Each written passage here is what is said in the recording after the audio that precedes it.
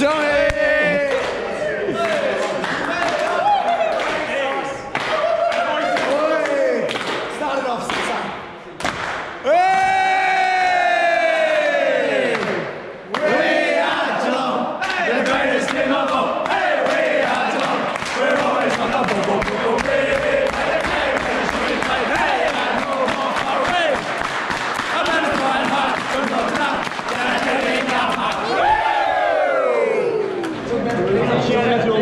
Um, we miss you guys tonight, but we're loving win for you guys. Go Catters!